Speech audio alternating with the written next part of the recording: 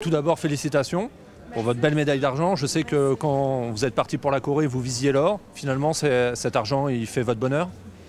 Oui, c'est sûr, c'est vraiment euh, voilà, la, déception est largement passée. On a passé une super, euh, voilà, un super moment au, jeu et voilà, une médaille, c'est très très beau aussi. Donc euh, non, on est vraiment content.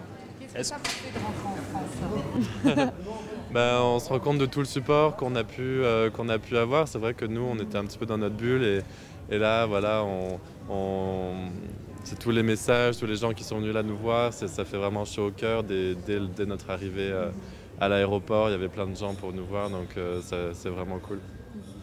Vous réalisez maintenant l'ampleur de ce que sont les Jeux Olympiques?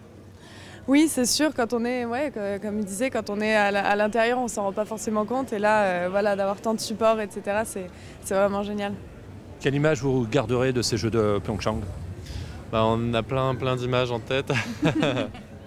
Euh, on a vécu plein de super bons moments, voilà, avec. Euh, c'est surtout des moments humains en fait qu'on a passés, des, moments euh, en or quoi, ensemble avec nos coachs, avec les autres athlètes. voilà, c'est plein de plein de moments où on a vibré aussi pour, euh, pour, nos coéquipiers, où on a stressé presque plus que pour nos propres euh, compétitions. Et voilà, c'est vraiment un esprit d'équipe qui fait que, ça rend un petit peu la, chose magique et qui fait qu'on s'ouvre à d'autres sports aussi qu'on n'a pas l'habitude de voir ou de, soutenir. Donc euh, c'est un petit peu cet esprit qui, rend les choses vraiment extraordinaires. Gabriela, on ne peut pas ne pas parler de cette mésaventure qui a fait très bien toutes les femmes. Comment, euh, avec du recul maintenant, comment vous vivez Vous dites, est-ce que c'est peut-être à cause de ça qu'on a raté l'or euh?